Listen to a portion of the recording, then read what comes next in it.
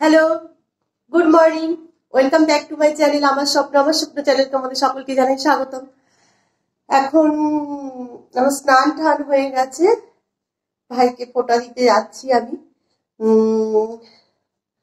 চলো, ফোটা দিতে গিয়ে সেখানে কথা হবে। আর তোমরা আজকে কে কীভাবে এনজয় করছ একটু জানিও। আর কেমন লাগছে।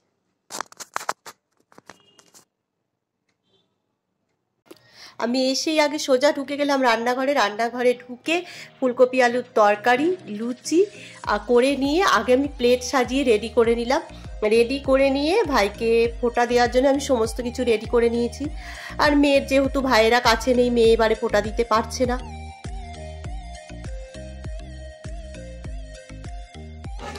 ফোঁটা দিয়ে আমার কমপ্লিট এবার চলো রান্নাগুলো করি। রান্নাগুলো তোমাদের সাথে শেয়ার করব। কি কি রান্না করছি। চলো, রান্না করতে করতে বলব আমি কি কি রান্না করছি। তাহলে চলো সোজাসুজি রান্নাঘরে চলে যাই। এ দেখো, টমেটো মরিচ দিয়ে পাবদা মাছ করব বলে টমেটো আর কাঁচা লঙ্কাটাকে আমি জলে সেদ্ধ করে নিচ্ছি। এমনভাবেই সেদ্ধ করব যেন জলটা পুরোটাই যেন সেদ্ধ হয়ে যায়। আর এদিকে পাবদা মাছ আমি নুন, হলুদ মাখিয়ে নিচ্ছি। নুন, হলুদ মাখিয়ে রেডি করে রাখছি।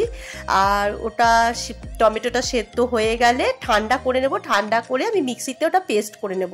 এদিকে দেখো আমি চিকেন রেজালা করব বলে চিকেনটা ম্যারিনেট করে নিচ্ছি। চিকেনের মধ্যে ম্যারিনেট করার জন্য দেখো বাটার গলিয়ে নিয়েছি। আর এটার মধ্যে পেঁপে, কাঁচা লঙ্কা, রসুন, আদা, পেঁয়াজ পেস্ট আর এটা টক দই ফেটিয়ে নিয়েছি। নিয়ে এবার চিকেনের মধ্যে ভালো করে আমি ম্যারিনেশন করে নেব।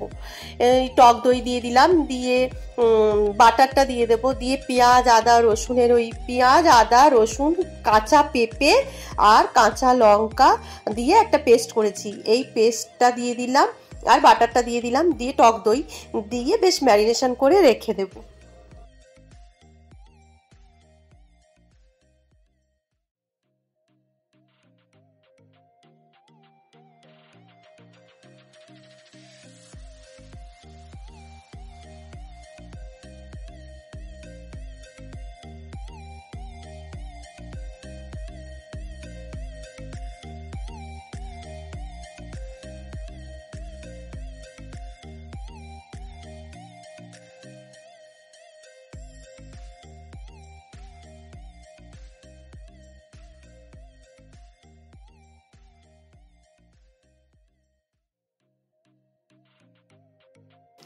এদিকে দেখো কড়াইতে আমি ফ্রাইং প্যানে তেল দিয়ে দিয়েছি। কেন একটা ছড়ানো পাত্র না নিলে না, এই- পাবদা মাছ ভাজা যায় না। পাবদা মাছ ভেঙে যাওয়ার একটা চান্স থাকে। আর তেলটাকে ভালো করে গরম করে নেব। গরম করে নিয়ে ঠান মানে গ্যাসটাকে কমিয়ে দেবো। দিয়ে মাছগুলো ছাড়বার মাছগুলো ভীষণ ফোটে। খুব সাবধানে মাছগুলো ভাজতে ভাজতে হয়। তারপরে মাছগুলো এপিট ওপিট ভালো করে ভেজে তুলে নেব। তুলে নিয়ে তারপরে আমি এর মধ্যে কালো জিরে ফোড়ন দেব। কালো জিরে ফোড়ন দিয়ে দেখো মাছগুলো এত ফুটছে মানে কি মানে বোয়াল মাছের মতো ফোটে মাছগুলো। দেখো, এই তিনটে মাছ আমার ভাজা হয়ে গেলে পরের বার আবার তিনটে দেবো, কারণ একসাথে ভাজা যাবে না। ভাজা হয়ে গেলে, এই দেখো পেস্টটা আমি করে নিয়েছি, টমেটো মরিচের যে পেস্টটা করে নিয়েছি, দিয়ে কড়াইতে আবার তেল দিয়ে দিলাম। ওই মাছের তেলটা যে আছে, ওই তেলের মধ্যেই কালো জিরে আর কাঁচা লঙ্কা তো দেবো না, কেন কি কাঁচা লঙ্কা যেহেতু ওই টমেটোর মধ্যে বেটে নিয়েছি, কালো জিরে ফোড়ন দিলাম। ফোড়ন দিয়ে এইবার আমি টমেটো আর কাঁচা লঙ্কার যে পেস্টটা তৈরি করেছি, ওই পেস্টটা তেলের মধ্যে দিয়ে দেবো। দিয়ে ভালো করে নেড়ে চেড়ে বেশ যখন শুকনো শুকনো একদম কষ- কষা কষা হয়ে যাবে, তখন আমি ওই যে পেস্টটা যে করেছি, মিক্সির বাটি ধোয়া জলটা ওর মধ্যে দিয়ে দেব। দিয়ে জলটা দিয়ে যেই ঝোলটা ফুটে উঠবে, ফুটে উঠলেই মাছগুলো দিয়ে দেব। মাছ, মাছটা এত নরম মাছ যে এপিট ওপিট দুপিট দিয়ে ফুটিয়েই ধনে পাতা দিয়ে আমি নাবিয়ে ফেলব।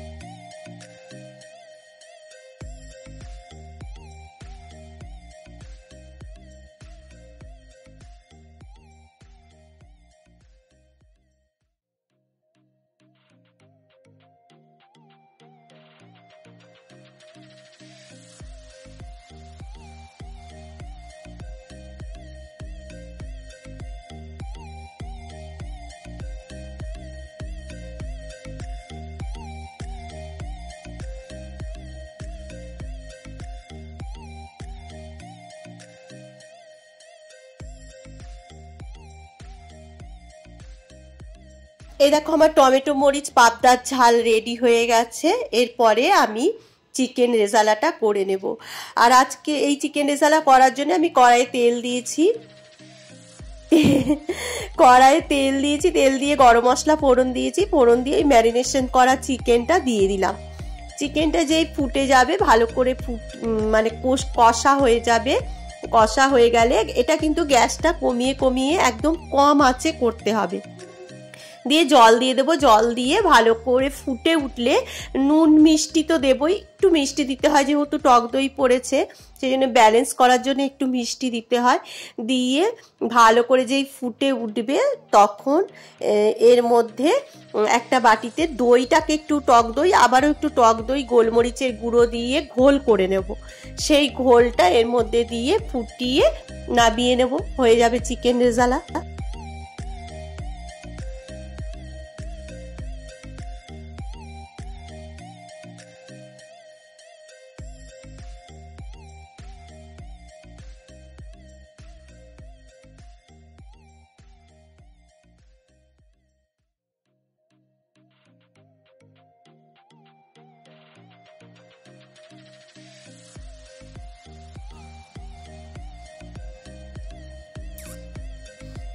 এই দেখো, আমি এবার ঢাকনাটা খুলে দেখো। ঘোল করে নিয়েছি আর গোলমরিচের গুঁড়ো, এইটা আমি নাবানোর আগে আর একবার দিয়ে, এক ফুট দিয়ে নাবিয়ে নেব।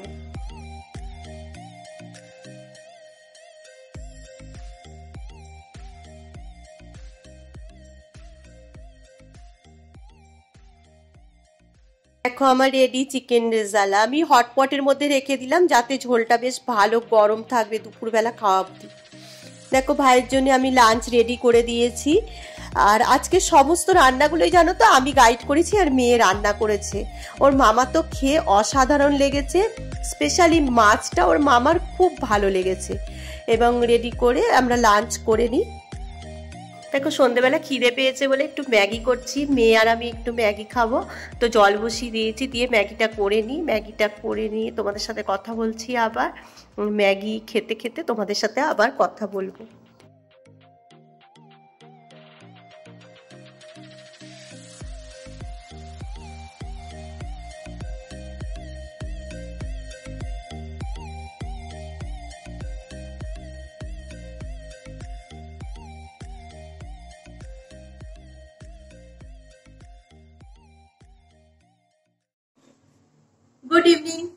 ফিরে এলাম আবার। এখন বাজে ঘড়িতে ঠিক পরে সাতটা। বিকেলবেলা দুপুরবেলার পরে বিকেলবেলা চাটা খাওয়া হয়ে গেছে মা, আমি, ভাই, চা খেয়ে নিয়েছি। আর রেসিপিগুলো তো দেখলে, আর চিকেন রেজালা আমি একদম পছন্দ করি না।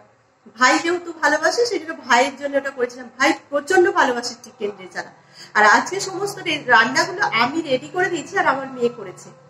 যেহেতু মেয়ের একটু মন খারাপ ছিল, মেয়ে আজকে কাউকেই ফোটা দিতে পারেনি। সেই জন্য খুব মন খারাপ ছিল, তো মেয়েকে আমি রান্নায় ইনভলভ করে দিলাম। বললাম না, আমি ডিপ্রেশনকে মনের মধ্যে আসতে দিই না, তাকে যেভাবে হোক বের করে নিয়ে চলে যাই। তো মেয়েকেও সেইভাবে আমি বের করে নিয়েছিলাম, চল রান্না করবি। বলে আমি ওকে সব জোগাড় করে দিলাম, দেখিয়ে দিলাম, আর মেয়ে রান্না করল। আর দেখো, এখন ম্যাগি খাচ্ছি প্রচণ্ড খিদে পেয়ে গেছে, দুপুরবেলা ওই পাবদা মাছের ঝাল দিয়েই ভাত খেয়েছি। তাই প্রচণ্ড খিদে পেয়ে গেছে। খেতে খেতে তোমাদের সাথে কথা বলতে চলে এসেছি। আর জানো তো, আজকে অনেক বছর পরে, অনেক বছর পরে একটা মন খারাপের ভাইফোঁটা সেলিব্রেট করলাম। কেন কি দিদি পাশে ছিল না, এত বছর পরে দিদিকে ছাড়া ফোটা দিলাম।